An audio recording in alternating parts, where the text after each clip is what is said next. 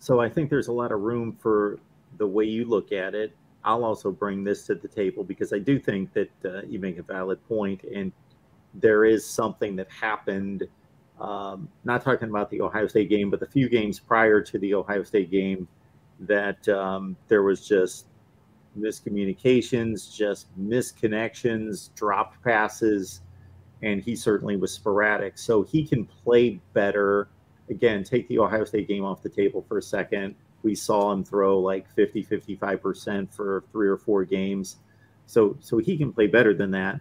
I look at it more from the standpoint of is a Georgia going to allow him to complete that high a percentage? He may be on point, but he's going to be on his back. He's going to be running more, eluding guys, you know, uh, dudes in his chest, hands in his face, and then obviously tighter coverage and not throwing to the the, the type of receiver space that we would see against UConn and Colorado State and the lesser teams in the Big Ten.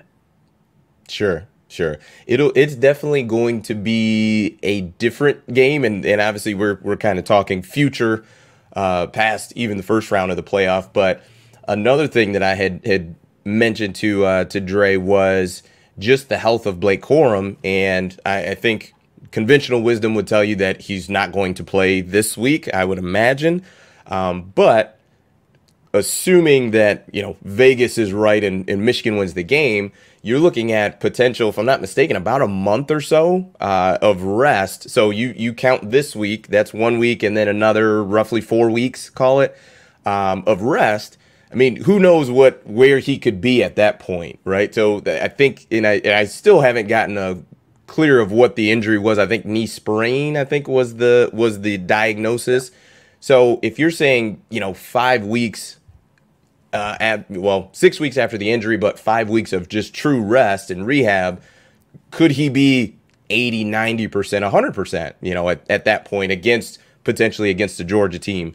Because I, I think that may change things as well for Michigan. Obviously, he is an incredibly dynamic running back, and and even for as great as Donovan Edwards was in that game, I, I think Blake Corum brings just something a little bit different, something special that I think – even a, a really good team like Georgia, I think would would he would potentially give them some issues. So potentially kind of that forecasting out, having that type of rest. You know, who knows where he could be as far as health wise uh, by you know by the time we get to the playoff and and moving forward.